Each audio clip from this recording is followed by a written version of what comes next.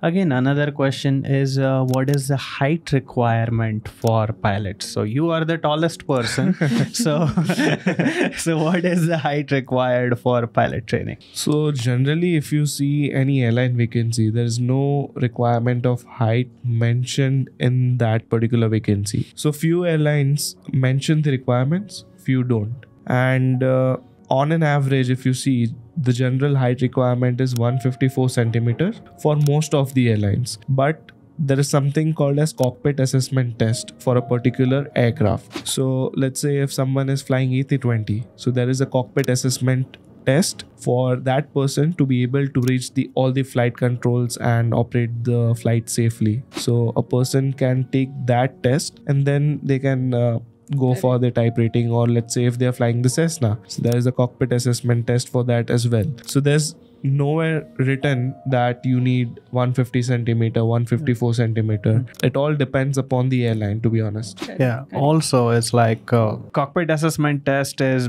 basically being able to reach all the controls that there are and all the switches and buttons and push buttons whatever that that Mhm. are there. The point is few pilots actually or even 150 152 centimeters also.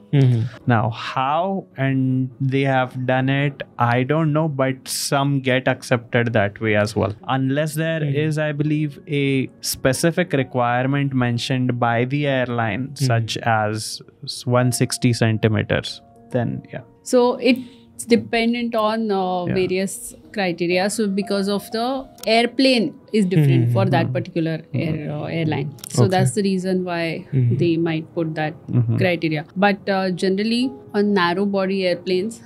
Seats are quite ergonomic and uh, you can adjust seats in order to reach controls with average height of uh, pilots. But anything above 150 is okay. Yeah a320 has electronically operated seats guys Yeah. it just moves with a motor noise Mm.